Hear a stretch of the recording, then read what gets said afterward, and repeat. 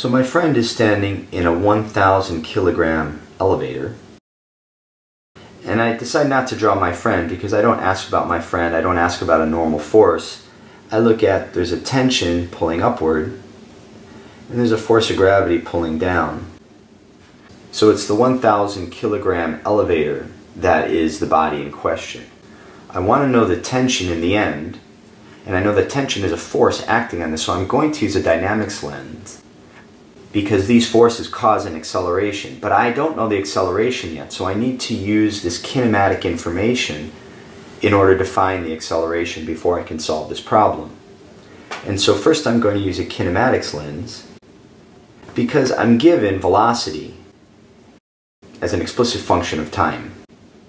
So let's take a look at what we have. So I start at a height of 20 meters, and she's moving downward, so V naught, V initial, is downward. She continues for her speed for one second, so a continuous speed means that the acceleration is zero at the beginning for one second. I'll say the acceleration is zero.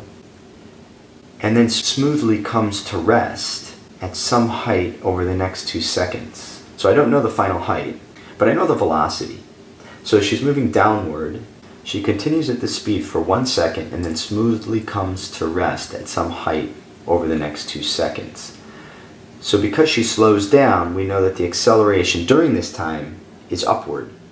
Because the acceleration is upward, I'm going to call this the positive direction.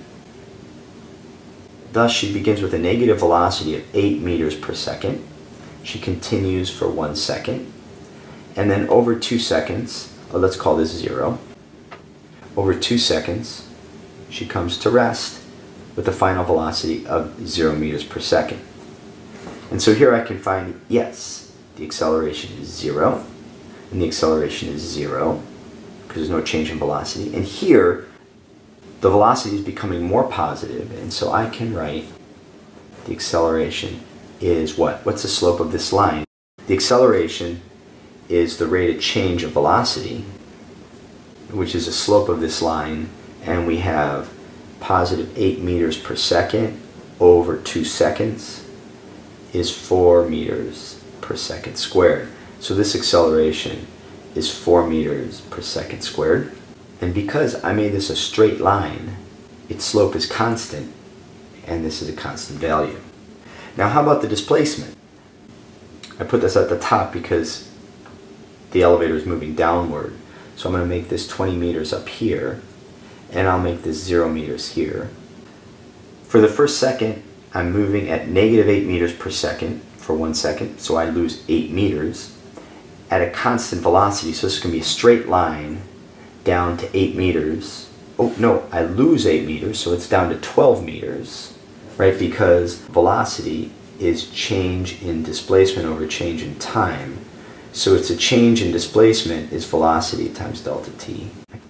Or we could say it's the area under this graph. One second, negative 8 meters per second, negative 8 meters. So here we are at 12 meters.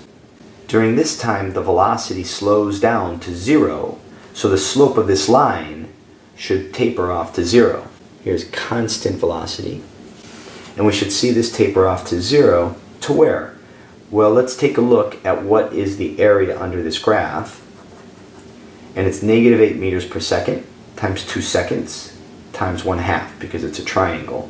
And so that's another 8 meters. Well, that brings us to 4 meters. So by here I should be at 4 meters and I should have a constant displacement because my velocity is 0. And this slope should slowly decrease to 0. Now we want to find the tension and I'm going to use a dynamics lens. Because these forces, tension and gravity, forces cause acceleration. I know that the vector sum of the forces on this guy is equal to mass times acceleration. And I have two regimes. One, where we're in equilibrium, where the sum of the forces must be zero, and here where we're accelerating upwards. We can put zero, zero newtons right here.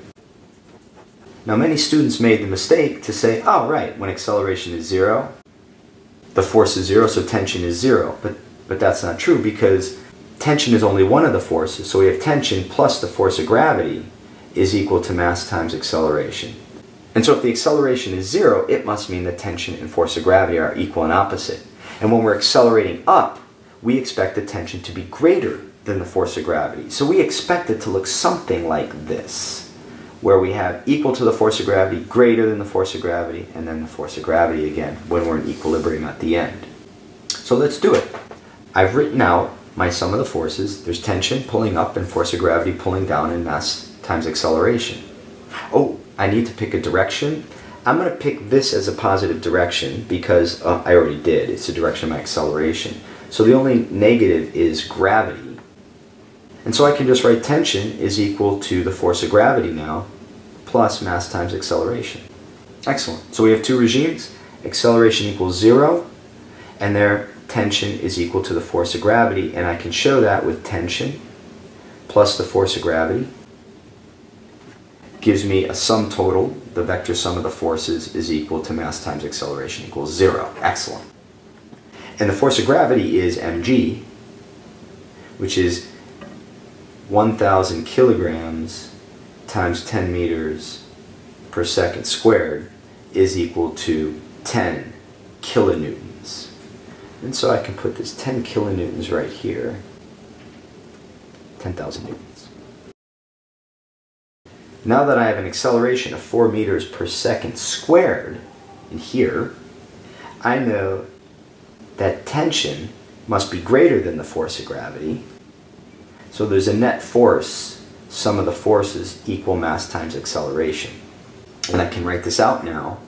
The tension is equal to the same 10 kilonewtons plus 1,000 kilograms times 4 meters per second squared right? And so I've got 10 kilonewtons plus 4 kilonewtons is equal to 14 kilonewtons. So if this is 0, 10, 15, this would be 14 right here.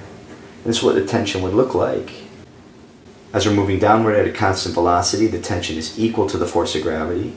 Here's greater than the force of gravity in order to accelerate the elevator, and then when we're at rest again is equal to the force of gravity.